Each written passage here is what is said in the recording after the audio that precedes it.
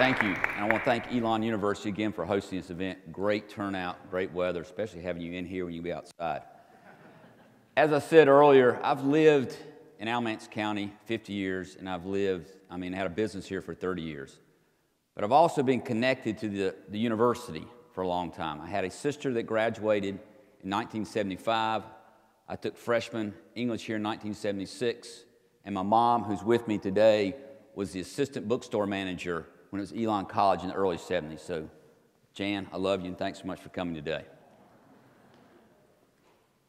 A lot of times you see 98% say, that's pretty good. That's something I'm proud of, you know, the top 98% of your class, your, your score, whatever. But if you didn't look at the program, that's not a very good number. The percentage of clothes that we buy today now made overseas. We have an, a broken apparel system. How did that happen? I've had the opportunity to be in the apparel business for 30 years. I remember what the apparel business used to be, and I lived through that. I remember when it used to be 98% here. Now it's 98% away. So we're going to talk about today how did that happen? How do we get it back? And how do we prevent it? I go to a lot of high school schools and classes. Usually at Elon, when I talk about this, they know that. And looking at this audience here, you'll understand that. But when you go to high school students and talk about NAFTA, no clue. What does it stand for? You understand, North American Free Trade Agreement. Prior to that, I had a business. Talked to TS Designs. We do printed t-shirts. We did work for companies like Nike, Tommy, Gap, Polo. Well over 100 people worked at TS Designs. Very successful business, very profitable business. We basically gave bonuses. Our employees had health care. Our employees had retirement. 1994, this becomes law.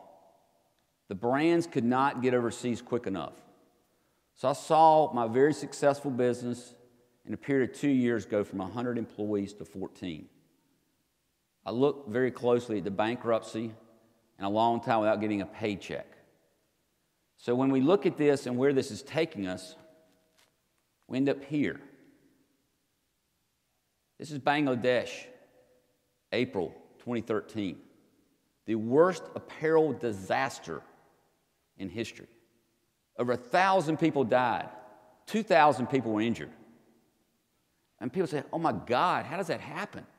Why do we let that happen? Real simple economics. We pay those people 26 cents per hour. So don't be surprised when you have a publicly traded company that's in business to maximize return for their shareholders. Where are you going to go? You're going to go and get the cheapest labor. 26 cents an hour is what those people were paid. And I was reading later that we gave death benefits to those people if they could validate they died. They got a whopping $700 if they could prove they had a relative down there. So that's where our apparel industry has gone. We run around the world chasing cheap labor, so we benefit from it. We haven't a broken apparel system. Six years ago, I met this gentleman here, Ronnie Burleson. Ronnie's a cotton farmer in New London, North Carolina. They do about 3,000 acres of cotton every year. So I went to Ronnie about six years ago. So Ronnie, I said, I want to buy some of your cotton. He says, Why does a t shirt guy want to buy my cotton? You can buy from Hanes or Gildan or Loom or whatever. Why do you want to buy my cotton? He says, Ronnie, I want to buy your cotton because we're going to do something different here in North Carolina. We're going to create cotton of the Carolinas. We're going to create a system which I define as a supply chain, where I go, we go dirt to shirt, we do it in 600 miles, we impact 500 jobs, and the most important thing, we do it in a completely transparent supply chain. We connect the consumer to the farmer. Because today, North Carolina is somewhere in the top five, usually top three, of cotton growing states in the U.S. We take about 80% of that cotton, spin it up as yarn, ship it around the world. So you can go to your local big box store here in Alamance County and buy a t shirt that traveled over 13,000 miles before it came back here. We do it in 600 miles. But I think what the most important thing that we're doing, and it's like we're doing their food, is we're doing in a transparent supply chain. As I said, we connect the consumer to the farmer. And the way we do that, in the shirt that I'm wearing today, if you looked at the tag, there'll be a style number. You take that style number, you drop it into a Google map. And from that Google map, you can go all the way to Ronnie Burleson. You'll get Ronnie's picture, you'll get Ronnie's phone number, you'll get Ronnie's email, you'll get Ronnie's physical address. You can go visit Ronnie. You can go visit Wes the ginner. You can go visit Mark the Spinner. You can see everybody that's involved in our supply chain. And what they used to tell you in business school, oh my God, you just told somebody to be in the t shirt business.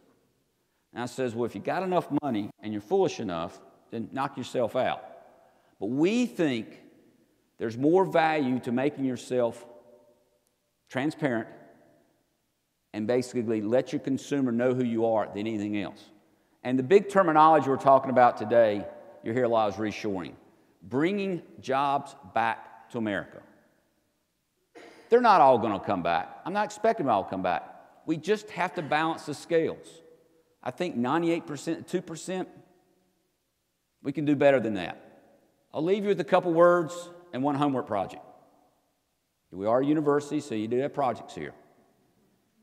The first one says, I think what's most important in today's society, not only manufacturing, but in our political system, is transparency. We need to know where things are coming from, where our money's going, where things are being made. But I'm very concerned of the lack of transparency that we're having in our manufacturing and our political system. If we had better transparency, we might not have that situation in Bangladesh where over a thousand people died. And I sure can tell you, I think with better transparency, we'll have a better political system in this country. The other thing that I'm a big, big, big fan of is local. Because what happens with local, you're keeping the money within your community. You're supporting the people you know. And again, just like all the manufacturers not coming back here, we're not able to make everything here. But it makes no sense.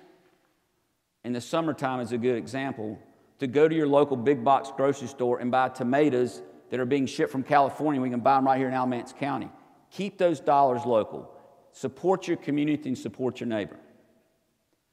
Last thing in your homework project go home, look at your shirt, look at your pants, look at your blouse, know where it's made. Take that responsibility. I'm not saying it's good or it's bad to be made in China or Bangladesh, but it starts with you. It starts with knowing. And if we're going to start turning this around, and if we're going to start fixing our food system, if we're going to start fixing manufacturing, we're going to bring jobs back here, it starts with you. The problem we have with we get so infatuated with the price, we never ask the other question. So just start going down that journey. I like to say sustainability is a journey, not a destination. So start that journey today by taking the step and taking that responsibility. Look at that label. Find out where it's made.